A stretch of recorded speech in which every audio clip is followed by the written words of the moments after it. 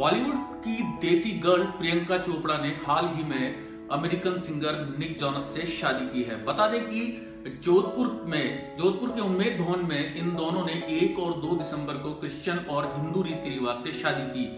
शादी के बाद पहली बार यह कपल अलग हुआ है। जी हाँ आपने ठीक सुना। निक जॉनस अमेरिका लौट गए हैं। बीती रात प्रियंका और निक जोनस दोनों मुकेश अंबानी की बेटी ईशा अंबानी की शादी में शरीक हुए थे। इन दोनों को वहाँ साथ साथ देखा गया। दोनों ने साथ शिरकत की। बॉलीवुड के और भी बहुत से स्टार्स इस शादी में पहुँचे थे। इसके अगले ही दिन निक जोनस अमेरिका के लिए रवाना हो गए। इस मौके पर प्रियंका काफ़ी उदास नज़र आई क्योंकि शादी के बाद ये दोनों पहली बार अलग हुए हैं। हालाँकि इनकी जो जुदाई है, वो ज़्यादा लंबी नहीं है, क्योंकि 20 दिसंबर को ये दोनों मुंबई में रिसेप्शन देने वाले हैं अपनी शादी का और इसके लिए निक जो है वो जल्दी ही वापस भारत लौटेंगे।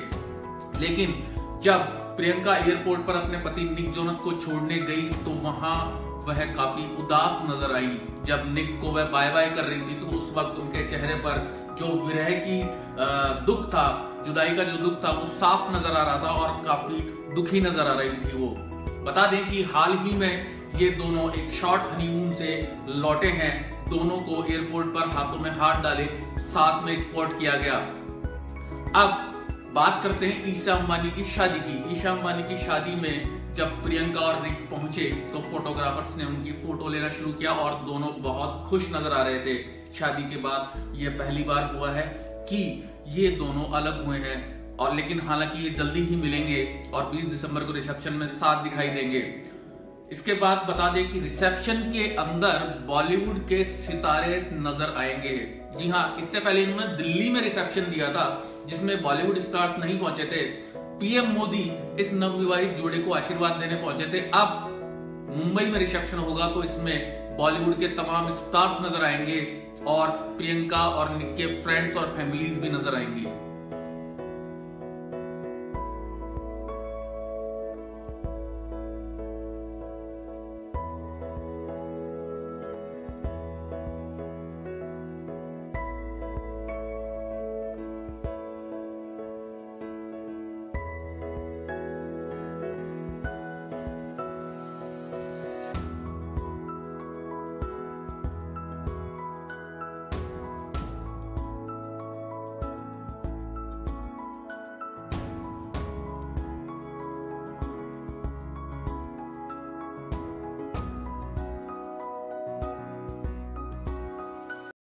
अगर आपको हमारा ये वीडियो पसंद आया है तो लाइक शेयर एंड सब्सक्राइब और चैनल पत्रिका एंटरटेनमेंट साथ ही कमेंट बॉक्स में अपने सुझाव देना ना भूलें।